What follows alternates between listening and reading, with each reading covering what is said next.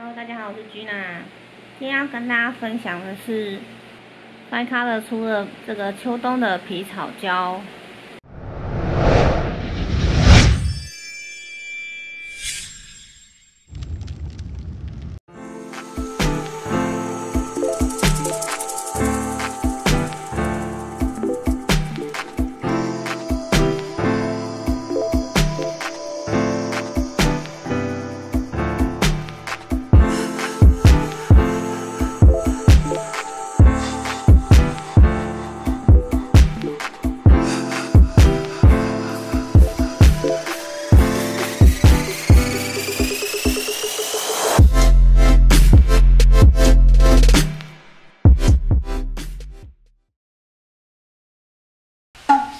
的颜色。那他们家的那个皮草胶，我觉得有一个还蛮好的部分，是它其实刷一层的话，就还蛮足够饱和的。呃，其实我在两年前左右就使用过皮草胶，但是它需要搅拌，并且它的那个饱和度比较还好一点，再有一点透明感。可是你可以看一下 Fine Color 的皮草胶，其实有一些部分也是带有一点透明感的颜色，但有一些颜色呢是属于比较饱和、比较浓一点的。那像上面这个从十一号开始，十一、十二号这两个颜色我非常的喜欢，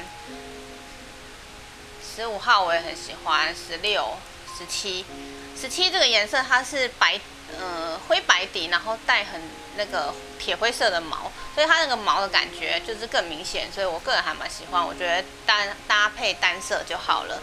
那这个颜色是有一点带暖色调的一个针织的颜色，这个颜色十号我也相当喜欢。那前面四个这个紫色呢，我比较喜欢四号跟五号这两个颜色。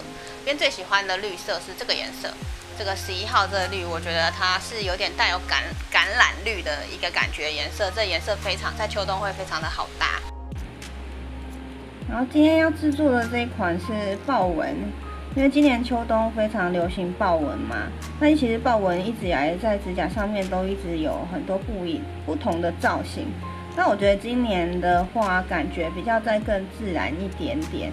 以前可能会有一些比较 Q 版啊，或者是呃比较可爱一点的纹路，但我今年特别的喜欢，就是有一点点毛呢质感啊，然后毛茸茸，但是又是那种非常真实的颜色的那种感觉的豹纹。那这一款呢？它我的原始发想是 YSL 的一一件那个针织毛衣，然后是豹纹的感觉。因为虽然虽然说是豹纹，但是我并没有想要画那个就是真真的动物的纹路，我是把它想成一个织品的概念。那这一次就是做了这样子的一个款式，刚好运用到他们皮草这个部分，我觉得做起来还蛮好看的。款造型里面有用到的皮草胶色号是十号，这个刚刚说这个比较带暖色调的这个灰灰调的这个皮草。那剩下两个颜色是我那个那组造型里面搭配单色的颜色是各是十一号跟十二号，这两个颜色我也特别喜欢，我觉得整个很有秋冬感觉。炫光胶的八号跟九号，绝色彩胶。四十四号跟二号还有四十一号，四十一号呢是那一组搭配里面的单色，这个这个年钻这个颜色，它很像那个风衣的卡其色，所以我还蛮喜欢的。那二十二呃四十四号跟二号这两个，我等下会调成比较浓一点的咖啡色，所以是这两个颜色。建构胶，这个是透明的，不是二代，二代是比较稠的，然后这个是一代透明。这罐呢，它的那个。软硬度啊，很适合做很多的造型，就是用它那个有点水润的质感啊，可以做出很多有点可以晕开的一个效果。还有 Fine Color 的亮面上层八零九的平比。好，这是这次会用到的材料的部分。先使用皮草胶的十号打一层底，因为现在我觉得我大部分做造型啊，都有一点点。透感，可是它会有一种不是不是平面的感觉，是我比较喜欢的设计，所以我不喜欢打底的颜色，就是打的非常的扎扎实跟浓郁，刚好把所有的底色都盖掉的感觉。我觉得指甲这么有趣的部分，就是因为它本身带有一点透明度，那做在一个平面里面可以做出立体感，是一件蛮有趣的一件事。那它这个皮草胶啊，它虽然是甲油胶，可是它它的毛量很浓郁，所以你这样刷一层之后，它就会很均匀的，每个部分都会有那个皮草的感觉。可是呢，它整体又不会非常的浓，就是它不是饱和到你整个甲面都没有一个透感的感觉。好，这样先去照灯。那我们要来调色。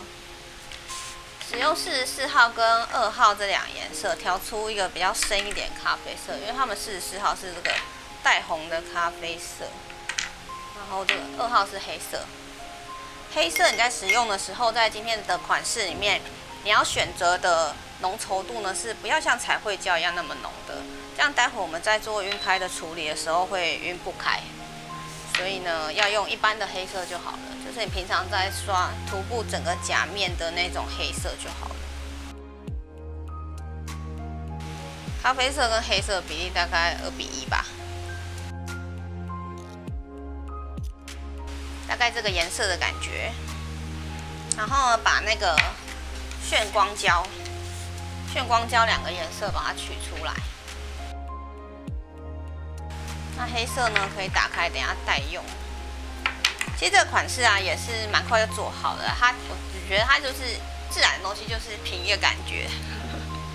八零九的这个平笔，Fine Color 的这个建构胶，我刚刚有说嘛，它的透明一代啊是属于比较水润一点的建构，这种比较软质的建构啊，你先薄上一层之后呢，它可以就是带领你待会的色胶变成有一个可以晕开的一个质感，先薄上就好了，但是均匀的。上在整个甲面上，可是不用刷，不用刻刻意刷的很厚，所以笔可以不用这么。平常我会请大家就是要把笔放平，因为可以刷一个均匀的厚度。但我们现在要刷一个比较薄的厚度的时候，你可以把笔稍微立起来一下。但是因为它这个胶很滑，所以呢，就是稍微用力一点，但是它是可以均匀的分布在甲面上，这种滑滑的质感。那还不需要照灯。拿出刚刚的调好的颜色，先用黄色这个颜色。嗯，自然的东西啊，你要把它看起来很很自然的感觉，就是颜色的渐层过去啊，要很不经意。如果你很刻意的做出一块一块感觉的话，看起来就会比较没有那么自然，跟比较假一点。那像这个豹纹啊，它本来底色就会有一点脏脏浊浊，所以就是呃不规则的去拍上一点这个带黄的透明。所以为什么要用透色？因为如果你用一个饱和的颜色的话，它就会盖掉所有的底层的那些毛，那你就会看不出来那个层次，也不会有一个透透光的一个感觉，不均匀的上。那我可能，比如说我现在思思考好，我把我可能坐在右上角这区块好了，所以这个地方我就可以让它稍微脏一点。那黄色打完之后呢，加一点点橘色，可是橘橘色的量要比黄色的量再少一点。然后清代，在我们在清代这个胶的时候啊，因为整体我们都还没照灯嘛，我们刷了一层透明，再加这些透明透明的颜色上去，所以呢，我们在把它有点晕开的感觉的时候，笔不能立得这么立，你在立起来的时候会把那些胶都缠起来，所以我们要轻拍，等于是平放，就是平放甲面这样子，轻轻的去带它，把那个胶。把它带的，让它自己胶跟胶之间去做融合就可以了。就是先清洁一下笔刷，都还不需要照灯，所以我会跟你们讲说要清洁笔刷，这样我们才可以再做下一个步骤。好，局部呢？因为我大部分的处理啊，我都不太会换笔，我很长都是用一个平笔就做完所有的款式。那平笔有个好处是它的角度有一点固定，像我如果等一下沾取一个角胶的话，它就会比较容易画出不规则状的东西。如果我换成了小笔的圆笔的话，我在晕染的时候比较容易都会晕出圆圆的线条，我就觉得那看起来稍微刻意一点，所以我比较习惯用平笔。那用笔的工具这个东西，我觉得都是看你自己习惯，你高兴用什么笔就用什么笔。好，我都会沾取一个角落这样子。那我们现在在画的这个部分呢，就是轻轻的、轻轻的把胶放上去。呃，笔呢非常的平躺于平躺于甲面，不要把笔立起来画。平躺于甲面的，你会很薄很薄的把咖啡色放上去，然后画出不规则状的豹纹的图案。其实我觉得豹纹没有一定要一块一块围绕，它有一些是咖啡色的斑点，所以我觉得如果你要画的比较像的话，基本上大的大的东西掌握到大大小小的不规则状，然后几个大的里面可能有塞一点别的颜色，但是可以以色块为主。那在放的时候，就是记得要轻轻的放，它才会是一个有点片状被你拨开的感觉。大概是这样子的感觉，那也可以看得出来，因为我们都还没有照灯关系，所以他们是不停的在晕染的。笔一样清洁干净之后，沾取沾取一个角落的黑色。那我们刚刚放的是咖啡色的嘛，所以你可以在咖啡色比较浓的这个地方呢，放一层黑色，加深它颜色。那我在放的时候，我是放上去，我不是画，就是放放胶的意思。所以我是很轻很轻的碰到一下甲面，然后也不用你刚刚画的每一个每一块都放黑色，你想要强调那部分放黑色就好了，剩下有一些比较浅色也没有关系。那再把笔清洁一下，在你的有颜色边缘可以加一些刚刚这个半透黄或者是橘色。从头到尾我们都没有照灯哦，这款很快就画好了。可是你放的位置要先稍微想好一下，再开始画。在你画的过程中，它都不停在晕开。好像刚刚这个有洞洞的地方啊，像豹纹中间那个洞洞的地方，你就可以再放一坨黄色，它会互互推，它会跟黑色这样子互推，因为胶都还是滑动的状况嘛，所以他们会互相推来推去。比较多我是用黄色，但是你局部也可以加一点点橘色。那如果你想挖洞，你把黄色点进去里面，它就会变成像那个豹纹的一个洞。橘色只要加一点点就好。好，整体颜色你觉得加的差不多的时候，把笔再清洁干净之后，我们比如说这里，我想要让它再更呃滑动的再更均匀一点。这里的色块有点明显，我把它放近一点。这里色块有点明显，把笔也是放平于甲面，然后有一点碰到的时候呢，这样子滑动它，笔这样子上下滑动。我们碰到的是胶，不要戳到甲片，是碰到上面的那些胶，轻轻的那样子把它拨开，拨开，拨开。但不要离得很远，你很你如果离开那个色块的话，会让那个色块变得越来越大。只要把它轻轻的从边缘拨开就好了。那个胶呢，它会互相自己晕染。那你在拨开这个动作中呢，它会看起来很像毛呢，很像呃毛衣的那个绒绒的感觉。所以不要担心会把它用的太脏，但是你不要离那个色块太远就好，会变大。轻拍，放上去之后，我们就拖到了一点胶嘛。那拖到了一点胶，你就这样子上下滑动一下，上下滑动一下，有点像是把它们融合在一起的感觉。那因为它底层是那个皮草的关系，所以呢，你这样子把它拉出那种丝线啊，它会跟那个皮草的底色更加的融合。我觉得差不多的话，就先去照灯。豹纹要怎么样自然呢？豹纹就是要有一些大大小小的不规则的色块，然后它有一些开口，所以你画了一些大的之后，你要在旁边放一些不规则状的小的，这样大大小小的放，那尽量有瘦有细，有粗的，然后它可能收起来的地方细细的。它的斑点就是，你如果画的很很规律粗细的话，就会不像。所以你可以画几个很大块的，然后再拉一些比较细的，这样子。然后尽量不规则状，所以不小心画出规则的圆形的时候，就加几个肿瘤，让它不规律，它就会比较像真实的。那最好是把大跟小的落差做起来的话，会比较像一点。好了，照完灯之后呢，它整体的感觉会真的很像动物的那个毛茸茸的质感，然后黄色的部分会稍微比较明显一点。我觉得它整个看起来就是有点太野性，所以呢，我会再叠一层十号的这个皮草胶。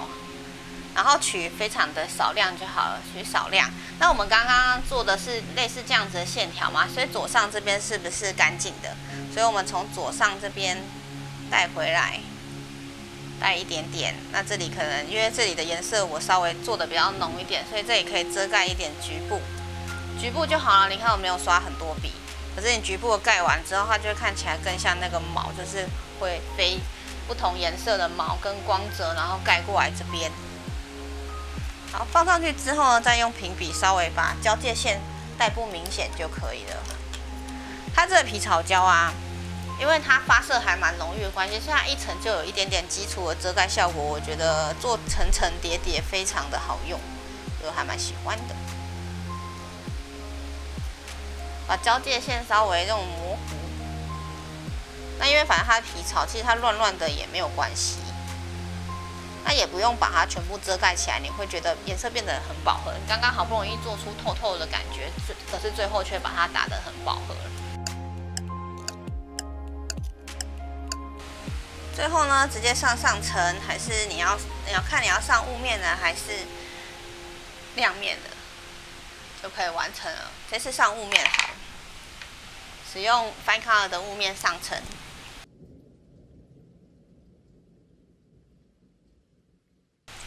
它看雾面上层，我好像推荐过很多次，但我好像没有在造型里面使用过。在上的时候啊，你要把它上完之后，它是呈现这样子的亮度的光泽感。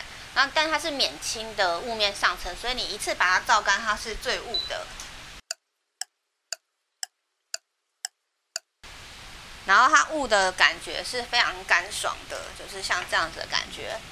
所以，如果它要亮不亮，要雾不雾，有两个问题。一个可能是你上的量不够，你上的很薄很薄的话，它不足以把那个亮面遮盖掉的话，它就会看起来要亮不雾的。但是，然后另外一个部分就是你没有把甲片推进去那个灯里面，它没有照足。那如果它是正常，像我刚刚就是，嗯，你刷上去它变成一个亮面的那个厚度感的感觉，然后足一次把它照干的话，它就是这样子雾雾的感质感。是，然后完全不用除胶，是非常清爽的。这个，所以它雾面我一直都蛮喜欢。照完灯之后是长这样子，它整个就是一个很雾面的质感，很像那个毛呢的那样子的一个织品的感觉。那如果你喜欢亮面的话，它可以做出像这样子的一个光泽度。那它一样呢，你会感觉出来，它你会觉得那些豹的纹路啊，还有毛啊，它会呈现在不同的。呃，距离就是有一些它可能是被毛夹住的一个比较沉进去的画面，有一些是比较浮起来画面。那是因为我们最后做了那个皮草胶做层层叠叠的处理的感觉。那搭配的话就可以像这个样子。其实其他的颜色啊，我觉得皮草胶单色就已经蛮好看的，所以搭配像这样子比较真实一点的。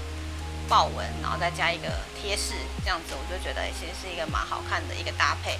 那上面的话，我就是会粘一点小金线啊。那如果说你要粘一些钻啊，其实像这一款我就是留的留白位置稍微比较多，所以你这里要粘贴式啊也都很合适。